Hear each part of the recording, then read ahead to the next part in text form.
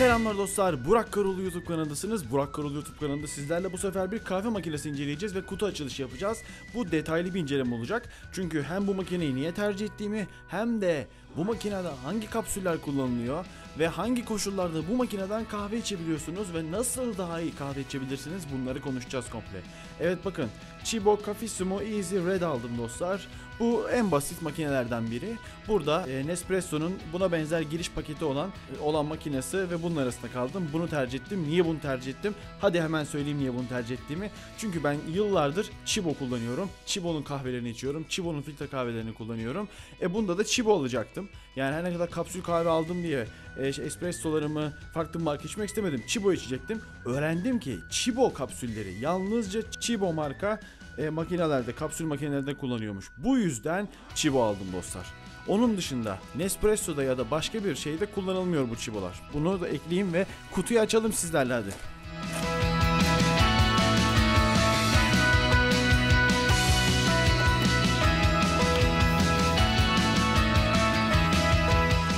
Dostlar bakın açıldı. Tabii ben bunu e, denemek için sizlere anlatmadan önce denemek için açmıştım. O yüzden bakın mesela bazı deformasyonlar var kutuda. Ben de zor açtım. Hemen çıkartıyorum makineyi.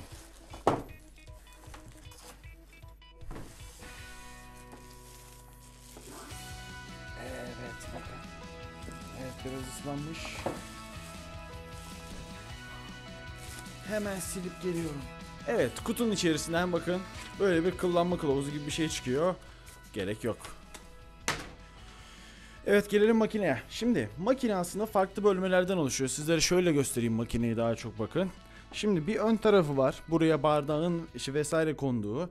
Şurası var. Buraya kapsülün konduğu. Şurası var. Bir de su haznesi dostlar. Şimdi su haznesini şöyle bayağı tutarak basitçe çıkarıyoruz bakın. Böyle bir su haznesi var. Bu su haznesi yaklaşık sanırım 750 mililitre su alıyor. Bakalım. Herhangi bir ölçeği yok ama yanlış hatırlamıyorsam 750 mililitre su alıyor bu dostlar. Bunun yanında bir de şu üst kısımdaki durum var. Bakın şu üst kısım. Böyle bir e, ittirmeli kendinden torklu bir e, alet var şurada. Şuraya kapsülü koyuyoruz. Yerleştirip basıp kapatıyoruz. Bu şekilde işliyor. Ön tarafına da bakalım. Ön tarafında da bakın böyle bir kahvenin geldiği bir kısım var. Bir de şurada aslında bir e, su haznesi. Buradan akan sular vesaire pis sular için bir hazne var. Peki şimdi buradan içine koyduk kahveyi. Kapattık ve kahveyi yaptık. E bu kapsül çöpü nereye gidiyor diyeceksiniz. Şöyle çıkarıyoruz bakın. Bu kapsül çöpü bakın buraya gidiyor. En son Black White içmiştim. İçinde kalmış dostlar. Evet makineyi aslında gösterdim sizlere. Bakın şurada da su, su alan yeri var makinenin. Su haznesini su haznesini yerleştirmek isterseniz de şöyle oluyor. Şunu şöyle tutuyoruz. Bakın şurada bir klipsi var. Şu klipse bunu yerleştirecek şekilde oturtuyoruz dostlar. Suyu nereden koyuyoruz? Suyu şuraya açıyoruz. Buradan suyu içine dolduruyoruz. Evet aslında çok basit bir makine. Çok basit bir makine. İsterseniz sizlerle bununla bir kahve içelim. Allah. Allah. Allah. Haftaya kedi incelemesi gelsin isteyenler videoyu beğensin değil mi Kaşa? Evet dostlar, her şeyi kurduk. Bakın kullanım kılavuzum da yanımda ama bakmayacağım. evet sizlere şimdi aslında aletin açılışından bahsedeyim. Aleti şöyle açıyoruz. E, buradaki herhangi bir tuşa bir kere bastığınızda ışıklar yanıp sönüyor, yanıp sönüyor, yanıp sönüyor ve bu yanıp sönme bitene kadar alet açılıyor.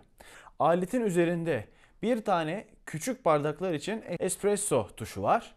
Bir tane cafe cream tuşu var. Bir tane normal kahve tuşu gibi bir tuş var aslında. İsimlerini tam bilmiyorum ama e, işlevleri bu. Biri kahve, biri cafe cream, biri de espresso tuşu. Bakın şu an açıldı. Şimdi bazı kapsüller var. Kapsüller bunlar için ayrı ayrı yapılmış. Mesela o kapsüllerden biri espresso kapsülü. Şöyle kırmızı olarak satılıyor. Chibo'da kırmızı olarak satılıyor. Ve bakın üzerinde de zaten yazıyor. Bakın küçük tuşla çalışıyor. Mesela Black and White diye bir kahve kapsülümüz var. Bu da en büyük bardakla yani kafe isimli tuşla çalışıyor. Mesela. Bir örnek verecek olursam ee, evet kafe cream var. Bakın kafe cream var dostlar. Bu da ortadaki tuşla yani Cafe Cream tuşuyla çalışıyor dostlar. Evet. Bunların da şöyle espresso sanırım 75 mililitre gibi küçük bardakta veriyor. Şu Cafe Cream ve büyük e, kafe tuşları da e, 125 mililitre veriyor. Yani aslında şu bardağın yarısına kadar verecek birazdan göreceksiniz. Şimdi sizlere ben diğer kapsülleri de göstereyim. Bu kapsüllerden istediğinizi arzu ettiğinizi alabilirsiniz. Ama şimdi aleti çalıştıralım isterseniz. Ben espressoyu koyacağım. Espresso içmeyeceğim bugün. Black and White'ı da koyacağım çünkü Black and White zaten içmiştim. Coffee Cream'i de koyuyorum dostlar. Ne içeceğim biliyor musunuz? Ben Cafissimo Coffee içeceğim. Bunların buradan da açılış yeri varmış. Şu an öğrenmem de bir ekstra oldu dostlar. Evet bakın şöyle açılıyormuş. Öncelikle fişimizi taktık. Aletimizi çalışır hale getirdik. Suyumuzu koyalım. Bakın şurayı şöyle açtım ve önceden hazırladığım suyumu buraya boşaltıyorum.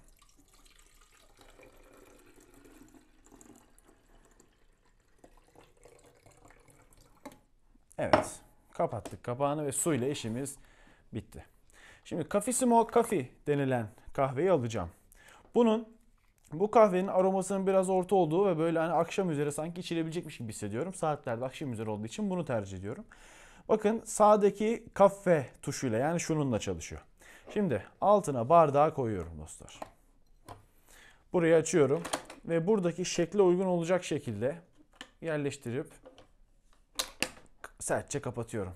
Hangisi basmam gerekiyor? Bu sağdaki kafeye basmam gerekiyor. Çünkü zaten kapsülün üzerinde belirtilmiş. Basıyorum ve bekliyorum.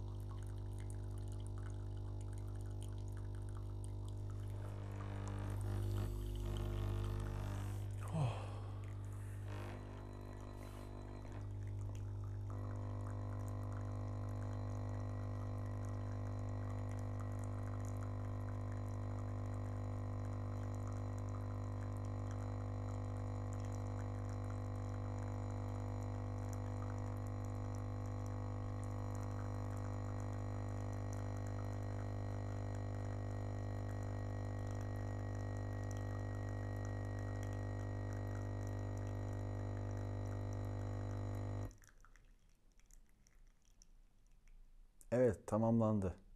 Tamamlandıktan sonra bir ufak bilgi vereceğim sizlere. Şöyle bilgi dostlar. Şunu şöyle açıp tekrar kapatırsanız bakın şurada kalan son suyu da alıyoruz. Ve zaten açtığımız anda içine düşmüş oluyor ve kapatıp konuyu kapatıp içebiliriz. Evet sizlere de afiyet olsun diyorum. Güzel bir akşam kahvesi için beklerim.